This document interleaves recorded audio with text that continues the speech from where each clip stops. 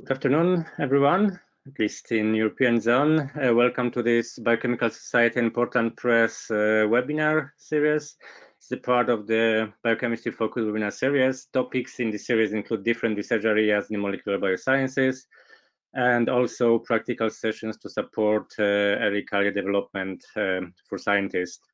Uh, in each webinar, you will have uh, opportunity to ask questions at the end, uh, so not after the talks, but at the end of the webinar. And we also welcome all suggestions for the future topics and also the speakers. Uh, if you want to learn more details, uh, I invite you to our website, which is on the uh, on the slide.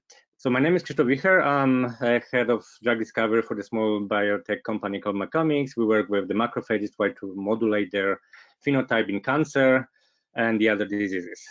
So this particular webinar is a part of our dedicated early career research uh, program in webinars and we are delighted to provide this opportunity to Camila, Renato, and Ruth, and they will share their work um, uh, performed at the, at the institutions at the moment. So today webinar is titled Cellular Behavior in Disease Models, and we will hear about different projects spanning from complex 3D models for cancer and to very detailed molecular methods for the drug discovery. Um, so before I hand over to our first speaker, to Camila, I would like to mention that questions, as I said before, will be asked at the end of the webinar. So please send them in the in the chat in the questions uh, uh, section of the of the GoToWebinar control panel, and uh, please mention to whom the question is addressed to, so that we don't have the confusion and we ask the right person the question, and then we'll try to answer as many of them as possible at the end.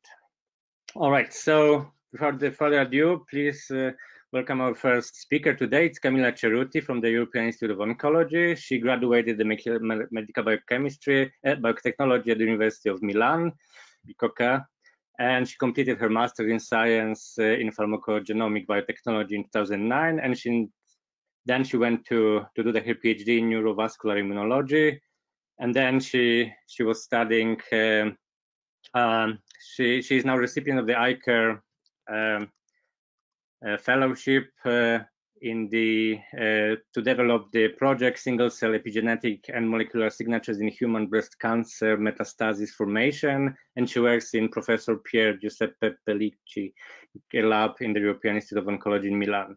So the title of today's talk is 2D and 3D human vasculature models to study cancer cell adhesion and migration during metastasis formation.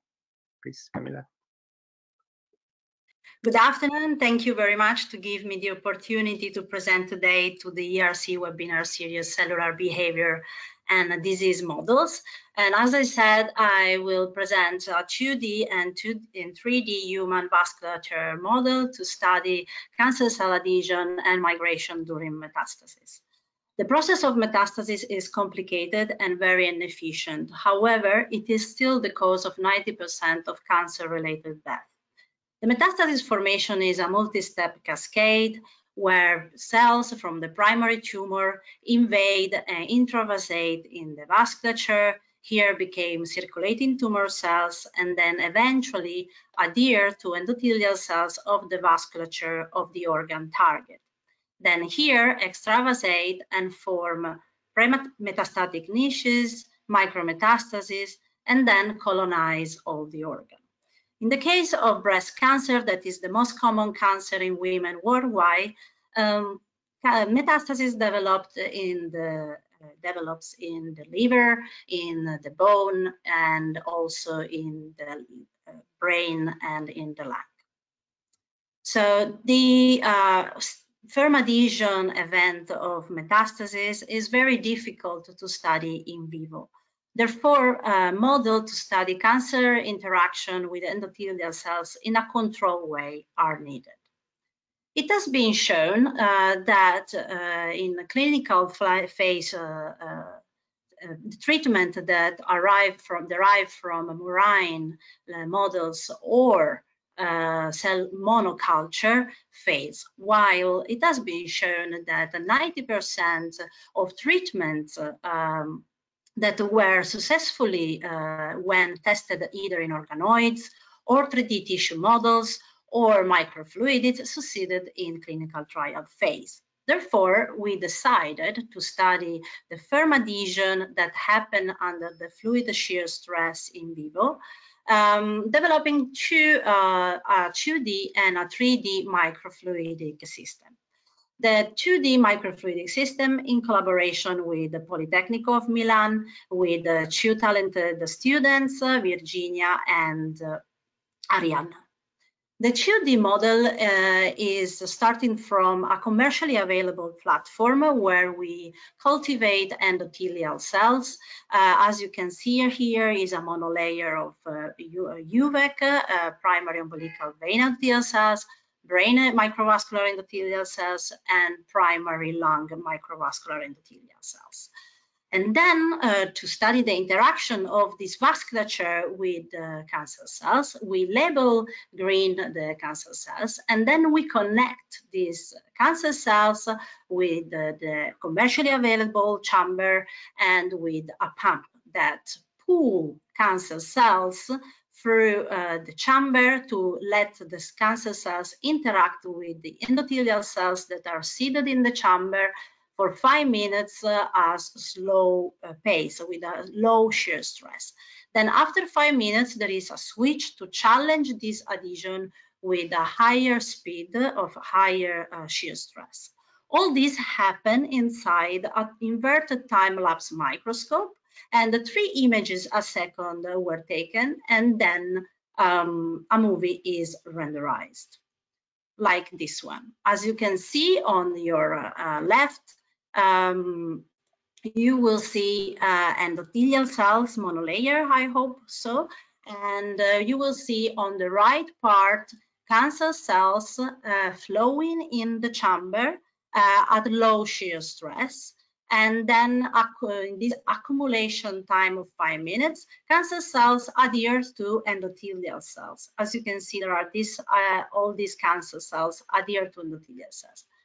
Then the shear stress is increased to challenge this adhesion, and the cancer cells that remain adhere are defined like firmly adhered cancer cells to endothelial cells. We uh, routinely, routinely um, uh, use this 2D all-human in vitro microfluidic model uh, to study cancer interaction with endo different endo organ-specific endothelium. And these, as you can see, are uh, cancer cells, uh, primary cancer cells from patients that are adhering to this endothelium.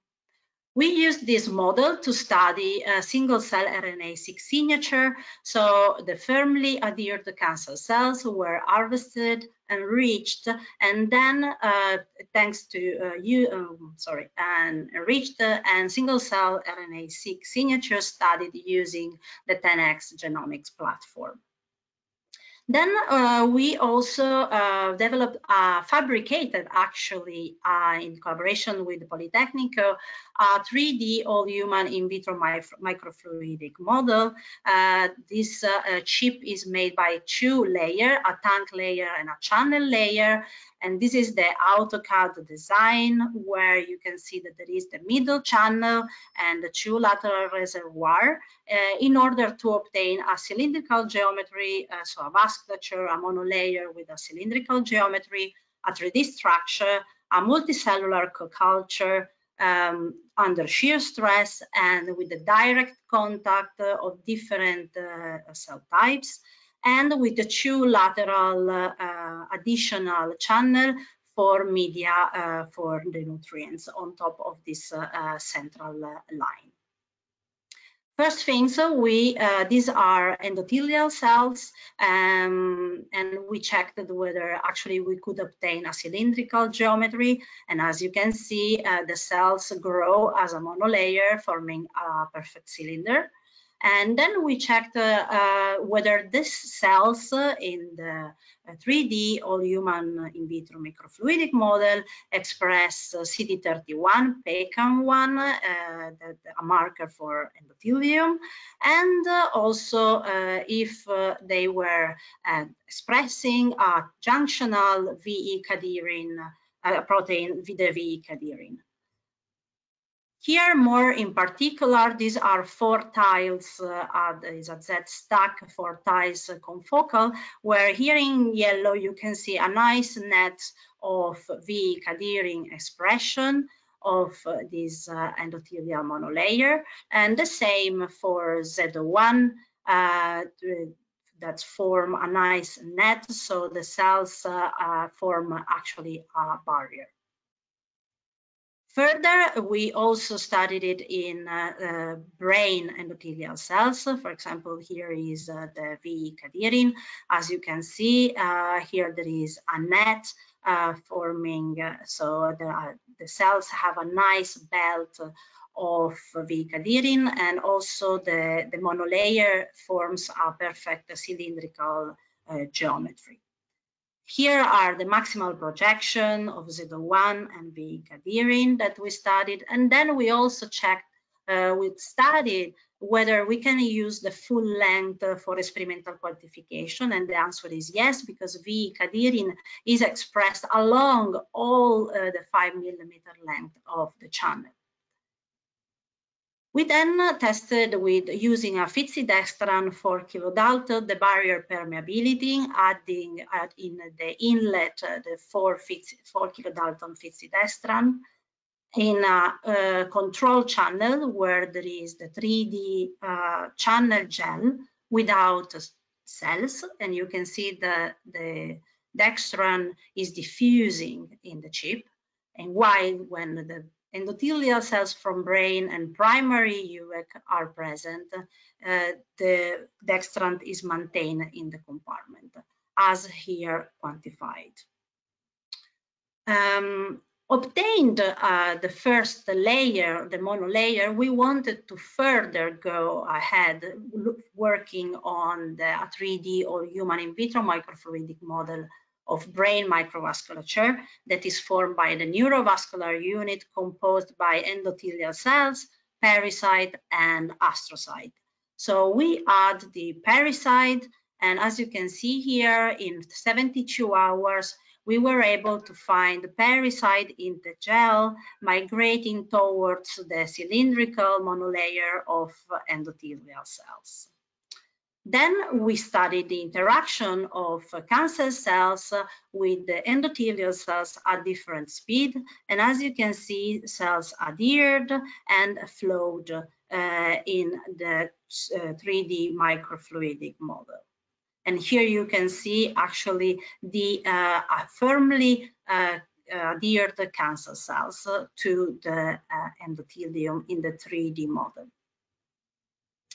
So future direction are, of course, to further develop the microfluidic 3D human vascular model with uh, co and tree culture of cells. In the case of the brain, we would like to add pericyte and astrocytes on top of our uh, to our engineered 3D model that is all human organ specific, perfusable with a geometry that mimics cylindrical vasculature in vivo, and of course uh, fits in the ethic of the three R's with replacement, reduction, and refinement for uh, research. Uh, then increase the type of organ-specific vasculature to study cancer cell adhesion under shear stress, and explore cancer cell migration across uh, organ-specific vasculature uh, on top of cell adhesion. And with this, I would like to thank, uh, to thank the Pier Giuseppe Pelicci lab, uh, the Rasponi lab at the Politecnico, our collaborator at the Open University and Cambridge University, uh, my funding of the Marie Curie uh, Eye Care uh, Horizon 2020, and thank you for your attention.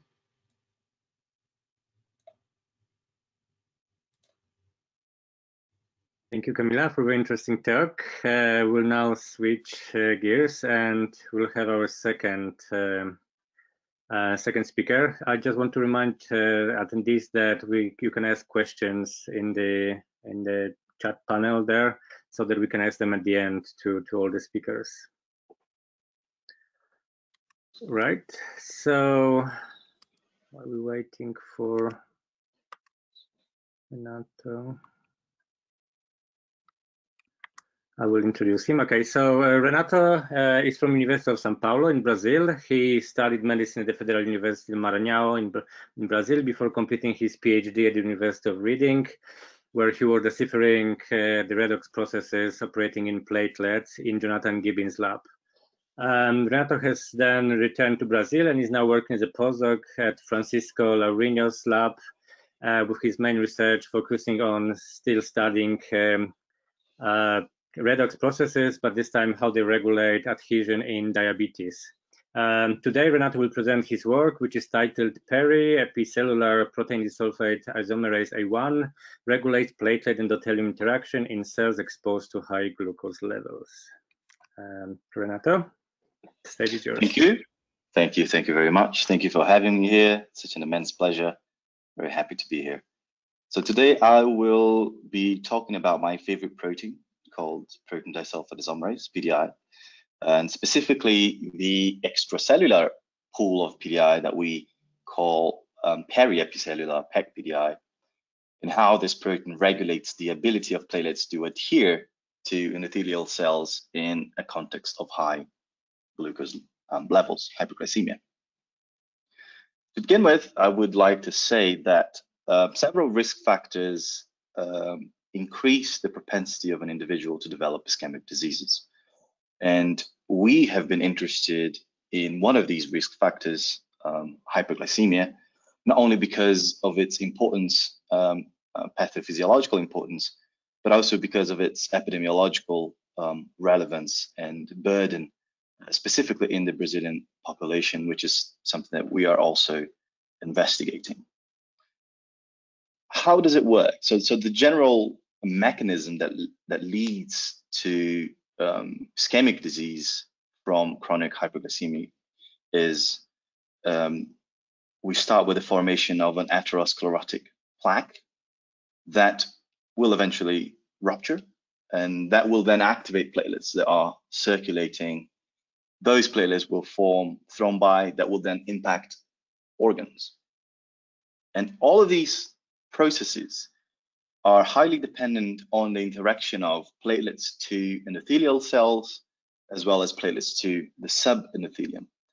And these interactions are highly dependent on adhesion molecules on the surface of both of these cells. And we know that PDI associates with several of these adhesion molecules.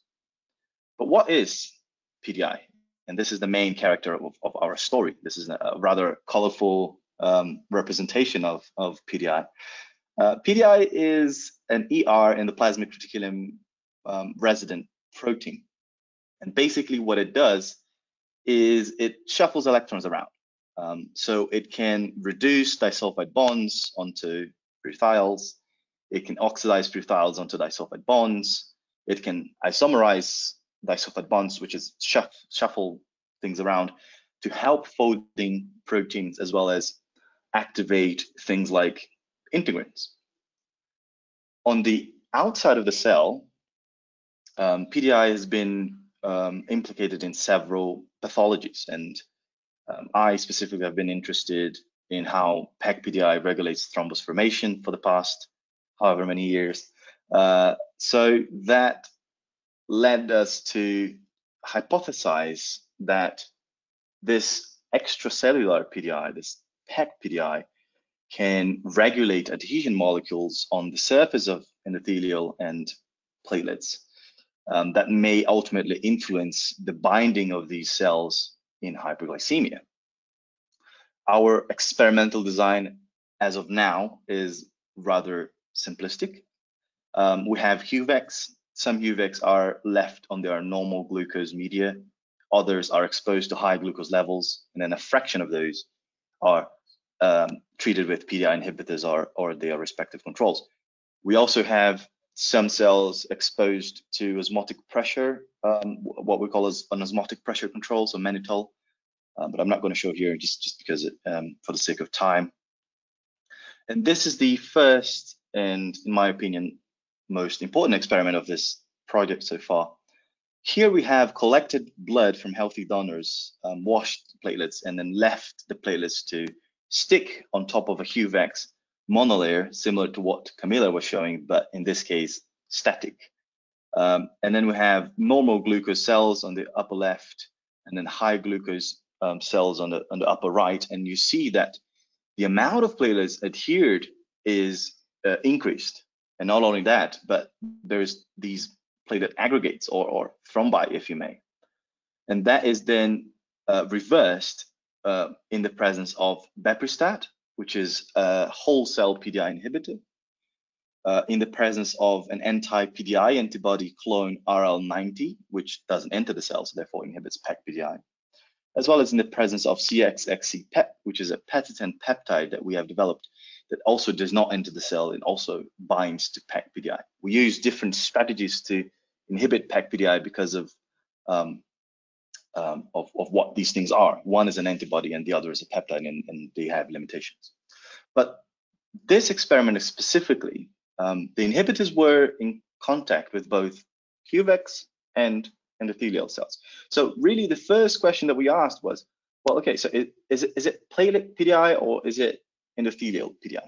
So what happens when we inhibit platelet PDI specifically? So we incubate platelets with the inhibitors, we wash the inhibitors away, and then we um, left those platelets to adhere um, to HUVECs exposed either to normal or high glucose um, levels.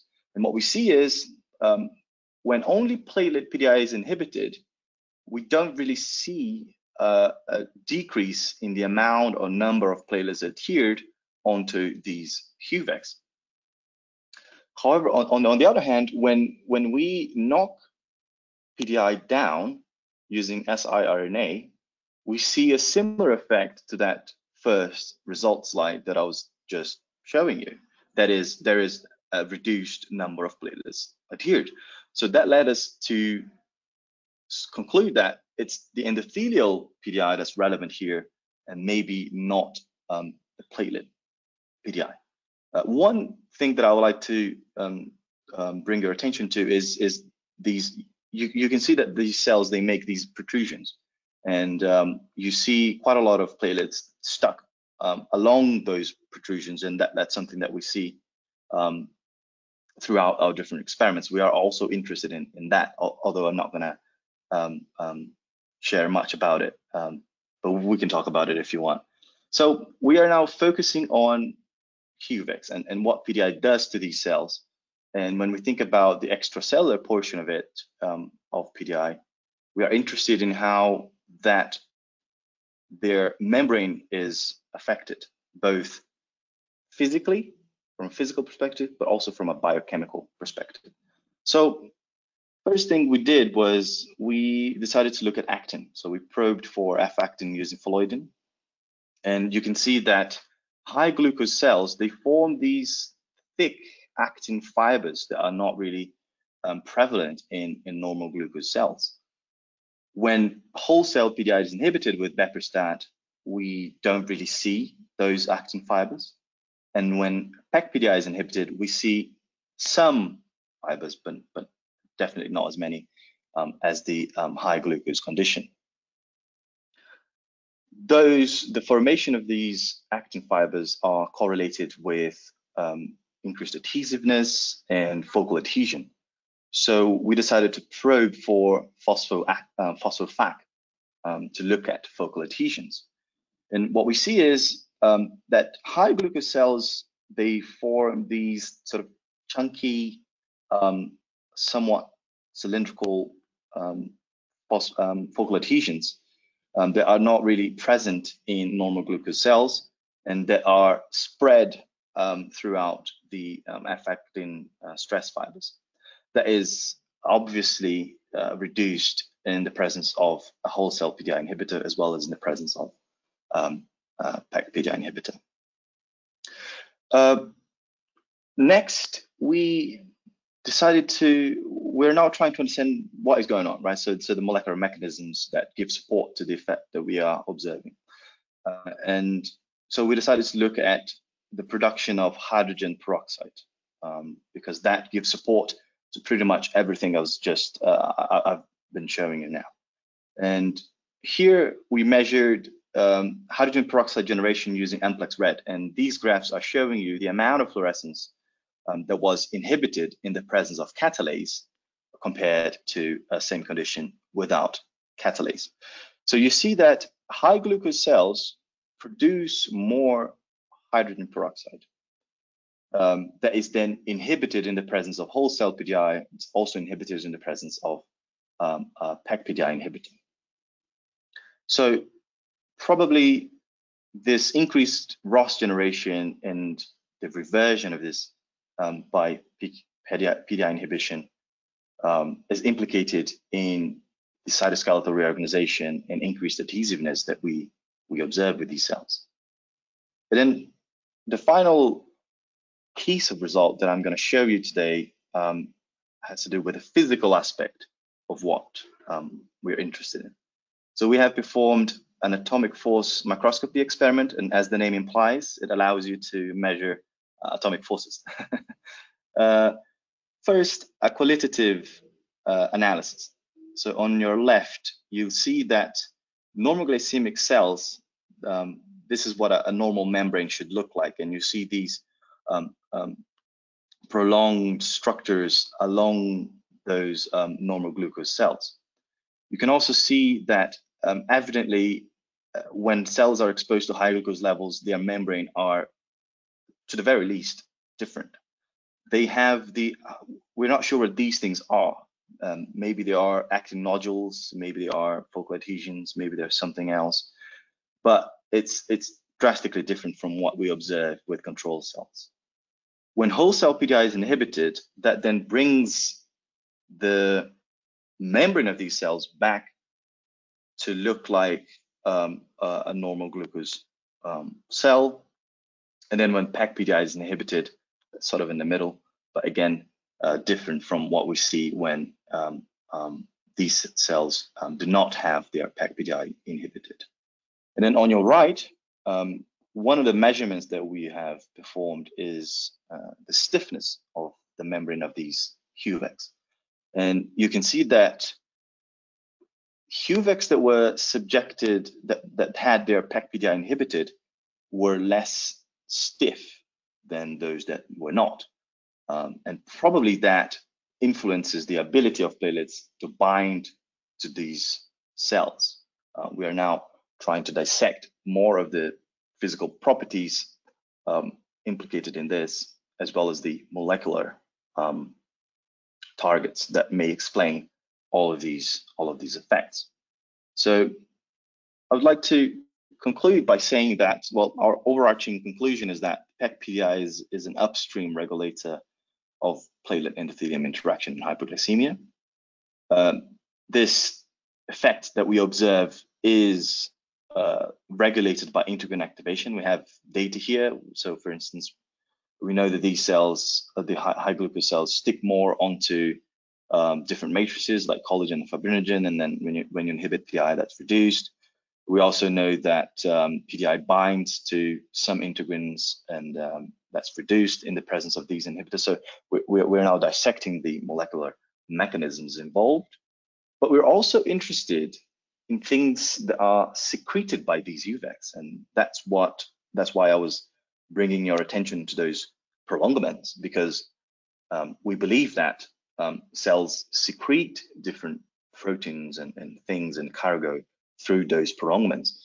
Um, so we've now performed a, a proteomics um, of the secreted proteins, and, and, there's just a lot of uh, fun, interesting stuff there. Um, having said that, I, I would like to my final message is to say that I'm open to collaborate. Should you have any questions, should you want um, to talk about this, um, just send me an email. And finally, I would like to thank all of these beautiful individuals from the Vascular Biology Lab uh, at the University of São Paulo um, for all the support and camaraderie. And uh, thank you very much.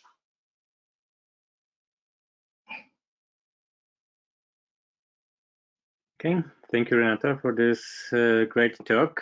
Um, so now we'll have our final speaker, and uh, this is Ruth Walker from the University of, uh, University of Newcastle. Uh, Ruth received her Master of Science degree in biochemistry from the University of Birmingham, UK, and since 2019, she's been working as a PhD student in the TROST lab uh, for the biomedical mass spectrometry at the University of Newcastle She is collaborating with Boehringer Ingelheim to develop MALDI-TOF mass spectrometry assays, which would uh, facilitate drug discovery. And her today's talk is titled Developing High Throughput Screening MALDI-TOF MS Cellular Assay for Drug Discovery in Non-Alcoholic Fatty Liver Disease. Thank you.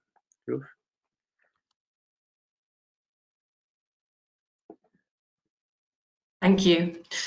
So why do I actually care about non-alcoholic fatty liver disease?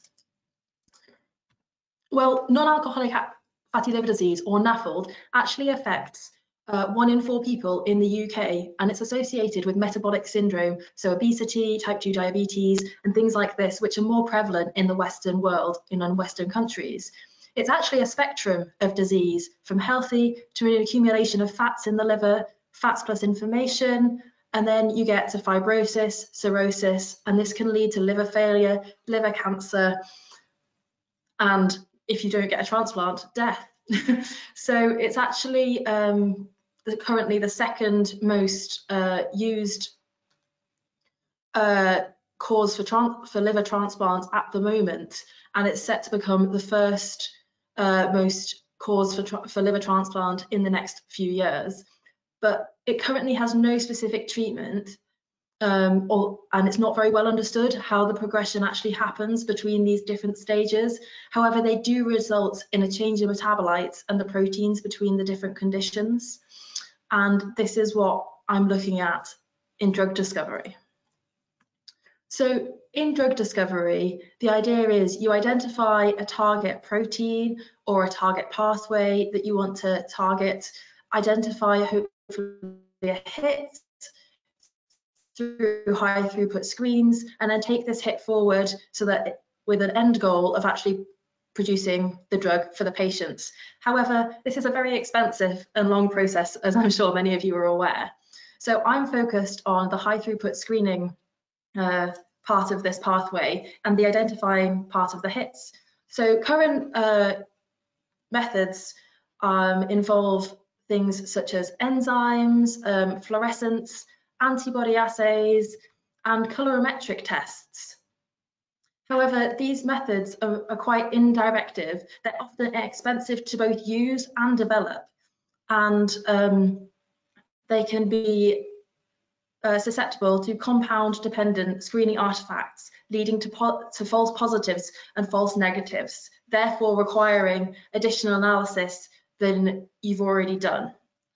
And this is where my research is focused because mass spectrometry offers the potential to change this as it offers a label free, a label um, sensitive method to do this. And I, in particular, I use MALDI-TOF mass spectrometry.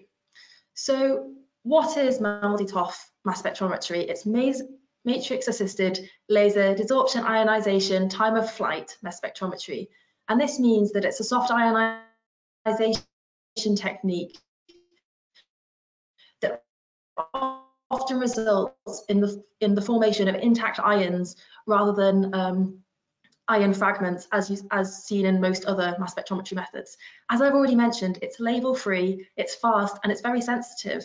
And what and what you can see from these plates, which is where we spot our samples, it requires very minimal sample. So you can spot 200 nanoliters or 100 nanoliters depending on um, the uh, plates that you're using. And it's also very quick. So courtesy of some of our collaborators in GSK, this is actually um, a high throughput screen that you can actually see going on on a MALDI. Um, so it's very quick in its acquisition of um, data. So how does it actually work? And what can it be used for? So it can be used for many different analytes. So it can be used for proteins, peptides, lipids, or small molecules. And all you do is change the matrix used. So what happens is you mix your sample with the matrix and then onto the sample, the metal plate, which I've already mentioned. A laser will then come and ionize this, um, and then it will lead it to detection in the mass spectrometer. And, it's, and in this, it's usually coupled with a time of flight mass spectrometer, which means that when the laser hits the sample and ionizes it, the, these particles get accelerated before they eventually hit the detector. And then this is where you get your M over Z or your mass to charge ratio um, so that you can actually identify the different molecules. So currently, um, MALDI-TOF mass spectrometry is actually used in the hospital um, to identify if you have a type of bacterial infection. So the spectra that is actually produced is as unique to the bacteria as your fingerprint is to you. So this is often called um, a spectral fingerprint. MALDI imaging is also another way that it's used. Um, and often what you can actually see is you can actually look at the individual M over Z values and see where in your specimen they might actually be. So each of these sections shows a different M over Z value and that can give you massive insight into the spatial awareness of metabolites and different molecules in your tissues. This is you can also uh, stain your samples to add another level of detail to this. In drug discovery, however, the most common method that is actually used is enzyme assays. So where you take your enzyme and your substrate and it might produce a spectra like this where you'd see your substrate, then the reaction would occur and then you'd get different peaks for your product and your substrate. So you'd be able to actually measure the substrate product ratio and therefore have a quantitative readout. By combining um, bits of all of this, we decided, we asked the question, can this actually be applied to cellular models? Um, so can we take the fingerprint from the bacteria and take some of the other aspects forward? And so when we do this, we treat our cells in cell culture, mix the sample with matrix and spot them on our target plate, and then we collect the data using the instrument. And this actually allows us to do a spectral fingerprint comparison between an untreated, um, a disease stimuli uh, cell, and a disease stimulus plus an inhibitor or an activator, some sort of compound that you're trying to screen. And from this, you can actually identify the different features that change, classify these features, and then hopefully identify the hits. So you can actually look at this another way as well, using principal component analyses. And when you do this, you'd have your healthy control cells, um, and then you can potentially identify good inhibitors or potential new inhibitors of a different um, of X, for example. You can also multiplex this and actually see if these are known toxic compounds, would my new inhibitor actually fall within this region, which would give you a greater level of insight into the data and potentially allow you to identify drugs that might not get further down into the process because that's expensive as well. So what actually is this principal component analyses? So what you do is you take the, um, the spectra and you actually compare the different peaks to each other. So this might be biomarker one, where you see you've got a difference in the disease stimulus, and this might be biomarker two. And what you do is you take these different features and you actually plot them on axes um, after, because what actually happens is each of these features um, falls into different dimensions. And within all of these dimensions, it actually allows you to classify where they actually fall in relation to one another. So when it does this, it says, I'm going to take the most um, changes that actually happen in dimension one, and then and the next most in dimension two, and so on and so forth. However, for us to look with 100 different dimensions is a lot. So the top three dimensions, or looking in 3D, um, tends to look at over about 90% of the differences, which allows you to actually look at the differences and to actually classify them on the axes and see, are they similar? Are they different? So how have we actually applied this to NAFLD? Um, so we've taken our untreated control. We've got our fibrosis stimulus with TGF beta and PDGF beta. as our disease stimuli. And then I've got an inhibitor version with ALK5, which inhibits the TGF beta, and imatinib, which inhibits the PDGF. And using this, these models, we've actually looked at some key markers for NAFLD. And what you can see is when you look at the, um, the fibrosis stimuli, it's upregulated significantly in these models. And with the inhibitors, it's brought down to a similar level to the control. So when we actually do this in our cells, we treat the cells, we then spot them, we mix them with our matrix and we spot them on the MALDI, and then we look at them in two regions. So first in a metabolite region. So this would be a region which contains, say, lipids. Um, and then we look at them also in the protein region. And what you can see from both of these is a clear clustering of the control, the fibrosis stimulus, and the fibrosis stimulus plus your inhibitors. However, in an ideal world, the control and the fibrosis stimulus and the, and the inhibitors would cluster. And they don't in this case, and that's because ALK5 and imatinib are not ideal inhibitors for this. So what we thought is we'd look at some inhibitors that are currently in clinical trials. So we looked at lanfibranor, which is a pan-PPAR agonist, and Aramchol, which targets um, the stearoyl-CoA desaturase 1, and both of these are, um, are, currently in clinical trials for liver fibrosis. We also looked at um, potentially redeploying pirfenidone, which is currently used to, um, clinically to treat um, lung fibrosis. And when you actually look at these, what you can see is in the black, you have the control, and then pink is um, plus the pirfenidone, green is plus the Aramchol, and orange is plus the lanfibranor. And what you can see is over here, you have the TGF beta PDGF, and you can see the clear differences between them. And when you look at these potential biomarkers, you can see the clear clustering there as well. So how can we take this forward and how, how far have we gotten? So we've established a phenotypic cellular assay for antifibrotic drug discovery in the liver using MALDI-TOF mass spectrometry. We've shown the metabolite and protein separation of the fibrosis with inhibitors by um, this method, and we've validated it with drugs currently in clinical trials. And we're going to take this forward by identifying the biomarkers that we've that are there and by performing a small scale screen with opnMe compounds before we before I'm headed to Boehringer Ingelheim next year to, to use this to perform a larger screen with hopefully some of their more automated robots.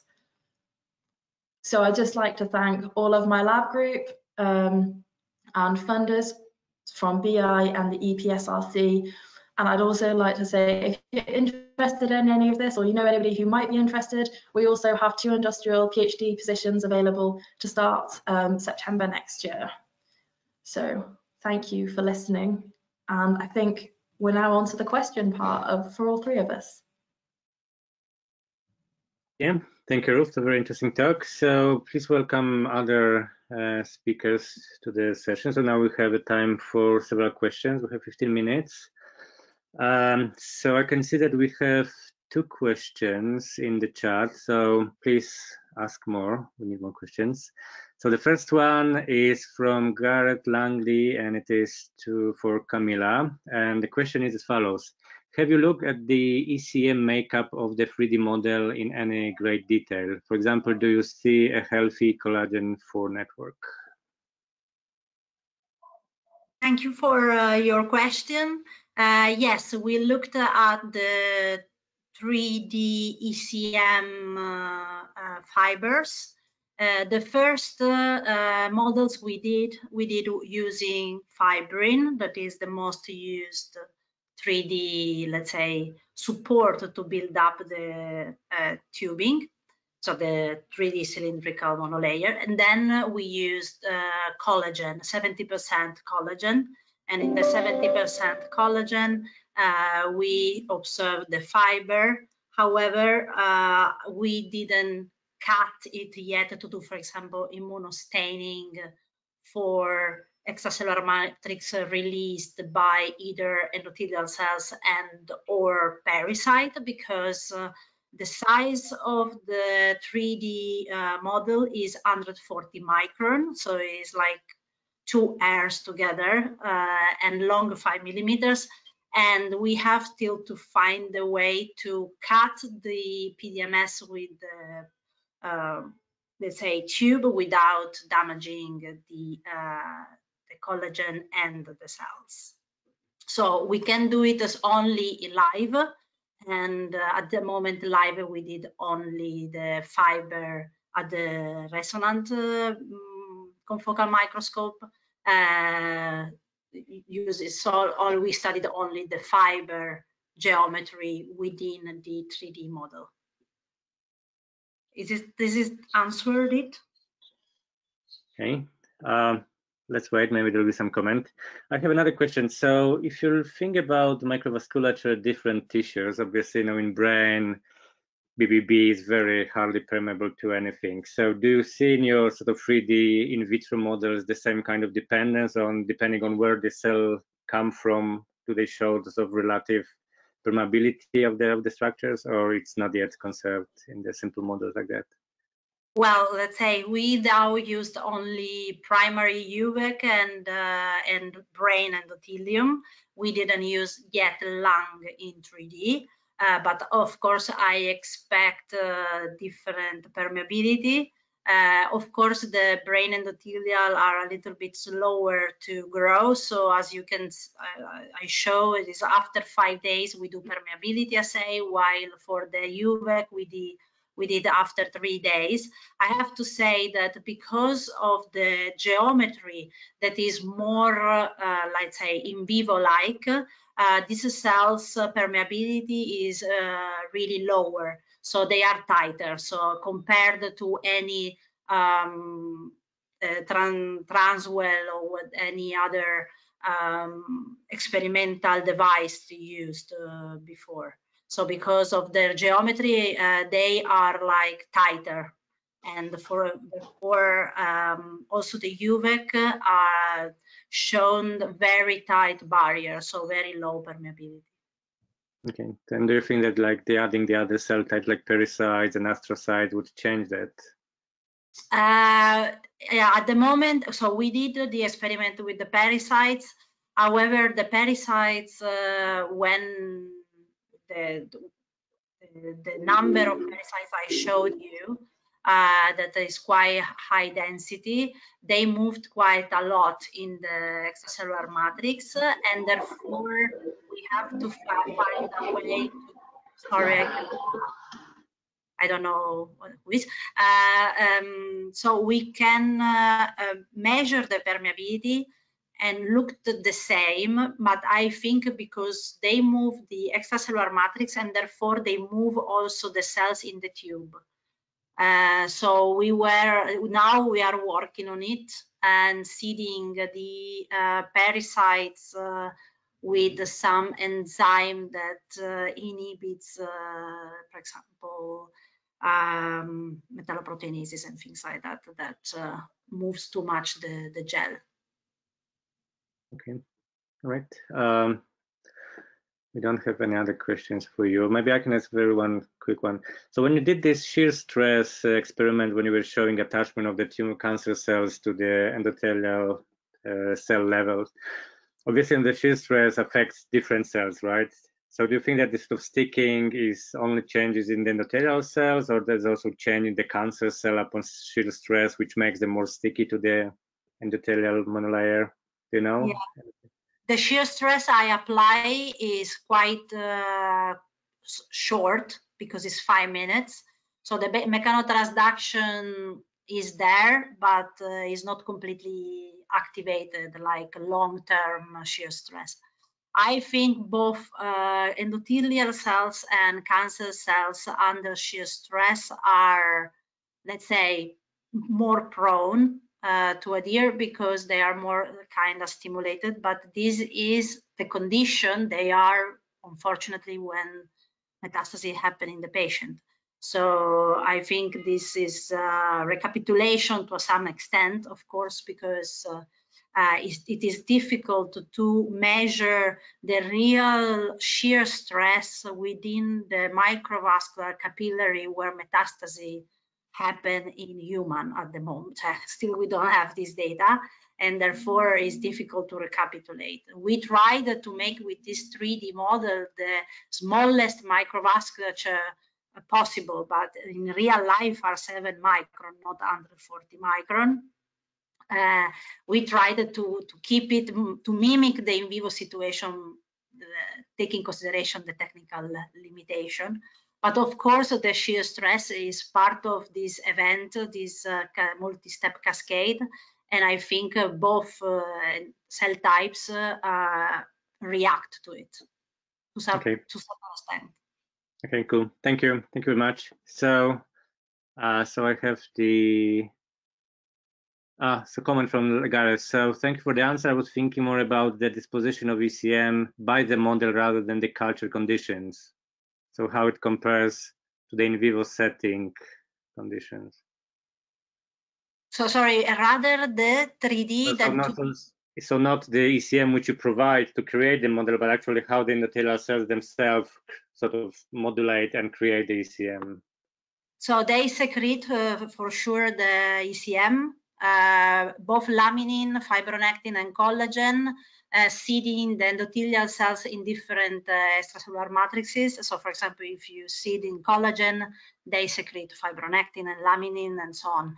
So the, these endothelial cells are able to secrete, uh, at least in the apical side, um, extracellular matrix component that normally are present in the different tissue. We don't know, we were not able to measure uh, within the different tissue types, the different amount of each component, let's say. We know that there is, is expressed, but uh, we don't, there is no such differences. Uh, also because the cells at the beginning were not cultured under shear stress. We introduced the, the shear stress once the monolayer was formed. But despite that, still the endothelial cells secrete uh, extracellular components. All right, thank you. Let's move to, to Renato now. We have question again from Gareth. So uh, the question is as follows. PDI is a subunit of the collagen prolyl hydroxylase tetramer. Could PDI inhibition be affecting the amount of collagen production and affecting the stiffness?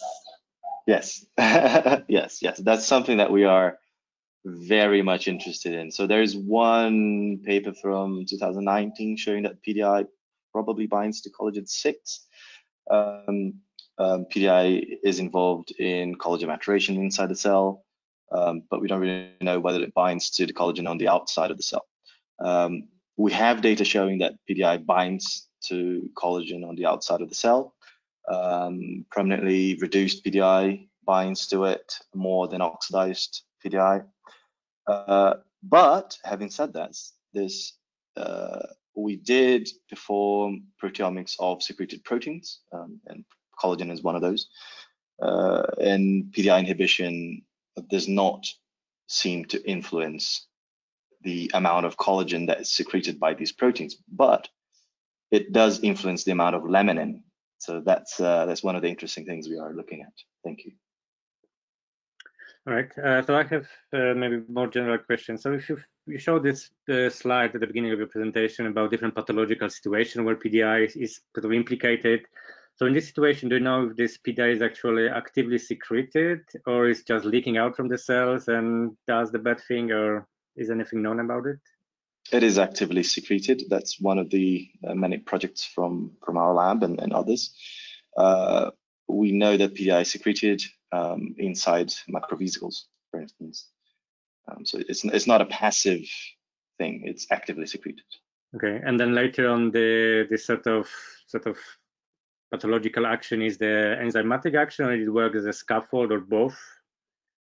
Sorry, I didn't get that. So, so when, when it is already secreted and sticks to the cells, does it then and you know exerts its activity as an enzyme oh, yeah. or is the mm -hmm. scaffold for binding other stuff around the cell and sort of making the platelet stick is mm -hmm. known yeah yes we do know that um, for instance pdi inside microvesicles of platelets they have reductase activity. They are able to, um, you know, do what they're supposed to do, which is reduce disulfide bonds. Um, so yes, whether it's a scaffold to anchor other, you know, proteins, you know, integrins, whatever, we don't know that yet. That's that's actually a very interesting hypothesis. I've never thought about it, but uh, yeah, it definitely has enzyme activity. All right, and so I have one last question up to you. Um, so when you were treating with the inhibitors and you saw the changes in in in, in sort of the the focal adhesion and so on, so so because probably the focal adhesion was the effect of the intracellular PDI, right, rather than extracellular, or was it extracellular affecting the mm. focal adhesion? Do you know that, or is the combined effect of the intra? Yeah complicated, isn't it? It's it's hard, yeah, hard to, yeah. To, to, yeah. But uh, so so my hypothesis at the moment, we haven't um, dissected that yet. My hypothesis at the moment is that um, so these cells are cultured adhered onto glass, and the main mechanism that that uh, supports this adhesion is uh, integrin. So integrins they allow the, the cell to stick to glass.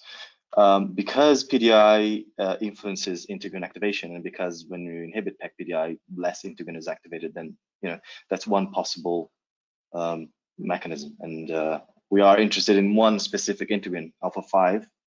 Um, but yeah, we, yeah, that's as much as I know. All right. Okay. Still work to do. Cool. Yeah. All right. Thank you. Thank you, Anta. So now, Ruth. So uh, we haven't got any questions in the chat, but I have two. So um, I was thinking because if you look at this sort of phenotypic screen when you don't really look for one particular change, right? It's not like one enzyme activity. look for many things changing the cell. If you compare that with sort of more directed measures like you know, ELISA or some enzyme activity, I mean, do you know? I mean, maybe from the experience or experience of Boehringer Ingelheim of GSK, how often you can get better hits using the mass spec possibly, or how better you can have drugs using you know the simple methods for the measurements of the activity. Is there any sort of is there a precedence for that? Is it known? I mean that actually the mass spec will give you advantage?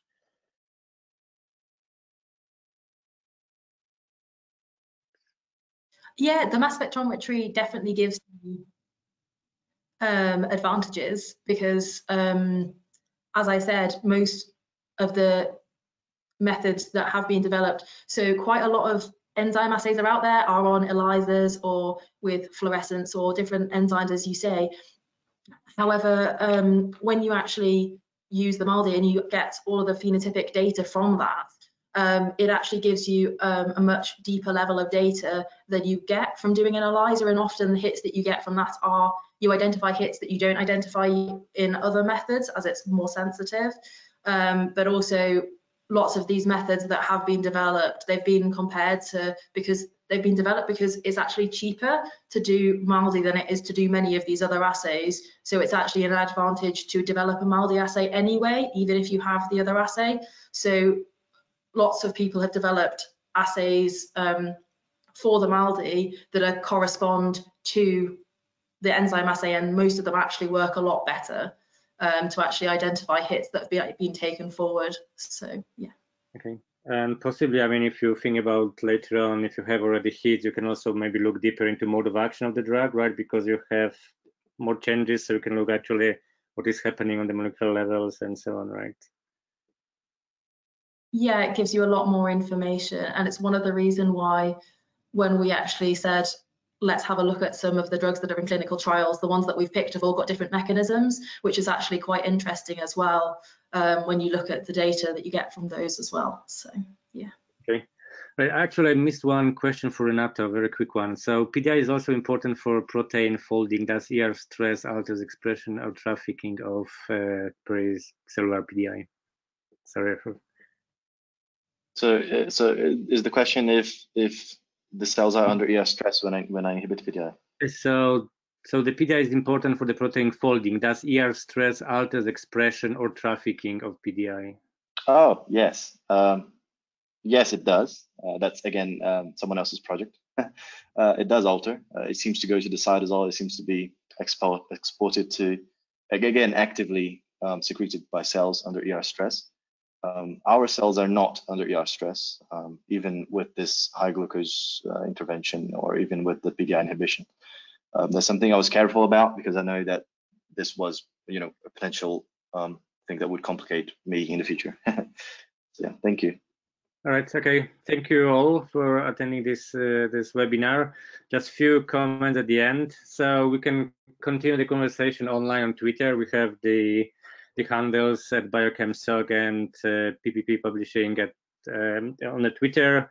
We also welcome all the suggestions, as I mentioned before, for the new topics and speakers. And if you want to propose your own uh, subject or your own talk, you can go to the uh, website with the webinars and do that. And also you can look at all the upcoming future webinars, actually also view the, the past seminars uh, which are recorded on the YouTube channel. And uh, finally, uh, you can become the member of the Biochemical Society and join the community of researchers. And there are benefits which come with that. You can have discount registration for the conferences, meetings, and also, you know, exclusive grants, and bursaries, uh, and some journals. So please uh, have a look at the website and join if you if you'd like to.